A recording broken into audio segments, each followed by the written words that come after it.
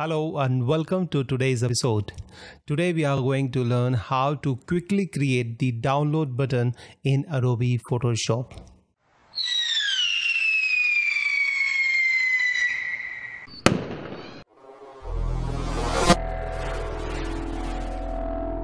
So let's get started. Before we go any further, I would like to request you kindly subscribe to my channel for more videos and that way you will not miss any video from me. Alright, so in order to create the download button, first of all, we need to create a new document. You can create a new artboard also, but I'm going to create a new document. So I'm going to take the size of 920 by 1080 and make sure the resolution is 72 because we are going to use that download button for the web all right? So we are going to take the 72 resolution and press ok all right? And once our document is created we'll create a new layer from here okay and we'll take this time this shape tool okay rectangle tool. So you can access it by coming over here or you can press u on your keyboard. All right? So we'll take this one and make sure from here fill you select this gradient option. All right? So select the gradient option and you can choose the any gradient at the moment it's not that important. We can change it later on all right? And make sure the stroke is none all right? So make sure you check this one all right? And once we are done and then click and drag and create a button of the size you want all right? So let's say i want the button of this size so it's over here all right? And now let's make some adjustment to this all right? So we'll press again u and by pressing u we'll have the access to all these properties over here. So we want these corners to be little rounded all right? So for that purpose we'll make it let's say 10 pixels and it is going to create these uh, corners round all right? And now let's click on this gradient editor and this will open. And from here we can choose the color we want. So let's say for this purpose I will go for something like green. Okay and let's take this darker green color over here. And on this side I would like to have this color. All right?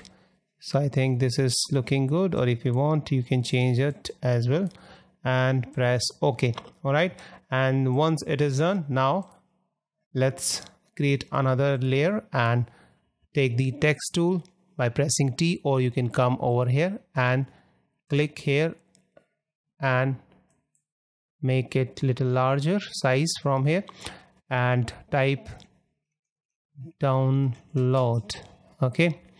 And press enter and now we are going to make changes to its property so we can go to the windows and make sure you select the characters all right? So by doing that characters would be available over here. And now we can change its color from here. And let's pick the white color and press ok and press this one double t. That means it would be all caps. So by pressing this you can see now it all caps all right? From here you can choose the different fonts as well if you like to but i would go for the default one which is the Myriad Pro. All right I'll make it little larger. Okay and I think this one is fine. And click and drag it over here. All right and here we'll make one icon. All right so in order to create one icon we'll create a new blank layer from here. Again we'll take the rectangle tool. And from this time we'll take the ellipse tool and click. Okay let's make it this way. And make sure you select the fill to none and stroke to let's say uh, color and then white color. Okay and from here you can reduce its size. So let's say this one. Okay and now let's create one rectangle all right?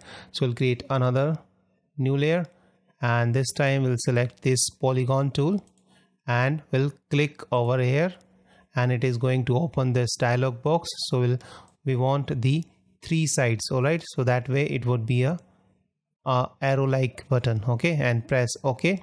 And now it has created this one and this again make sure you select the color and then white color okay? And this stroke to none all right? And now we'll take the move tool and we'll drag it something like here and then press ctrl t and we'll rotate it by pressing the shift and that way it is going to rotate it to 90 degree. And click and drag it down and make it inside this circle all right and press enter and reposition it to let's say maybe something like here. All right. And now you can make it little larger if you want to or you can adjust its position. So let's say this one over here and uh, this text this one maybe around here. All right. And now this download button is ready if you want let's select all these one and press G to group them together and call them button okay? And if you want let's create a drop shadow by double clicking it and it will open the layer style option and click the drop shadows. And now you can see this shadows over here. And you can adjust it. You can adjust the size okay direction and distance of the shadows size everything you can adjust from here all right and i think this one is looking good or let's make it straight. I think this one is also looking good and press ok and once it is done you can turn off the background all right and then you can choose the crop tool and crop it something like this and press enter. And now our download button is ready. We can save it as a png so by pressing ctrl alt shift s we can save it. And it is going to open this dialog box save for web. And from this drop down menu make sure you select the png 24 which is the highest quality. All right. And over here you can see the size. If you want the different size you can choose that one as well for you. All right. So I think this is good for me and I'm going to save it. And I'm going to call it download button new okay? Because I already have the same file and press enter. And once I'll go through on my place where I have saved it let's say I've saved it here and I can just double click it and see the preview. So this is the download button we have just created and this is a transparent download button. And this maybe it is showing you this white background but this is not actually the white background. And how I can say that let me show you. Let me just open this into Photoshop Adobe Photoshop. Let's okay. So let me click and drag it over here and make it large press C and let's make it a little larger this way. Okay and turn this button off and now go to that button and click and drag it over here and resize it. And you can now see that it has no background. It has transparent background and it is a professionally looking button which you can use for your website or your blog or anywhere else. So i hope you like today's episode. So if you like today's episode please don't forget to hit the like button and please subscribe to my channel. And if you have any question you can leave that in the comment section below.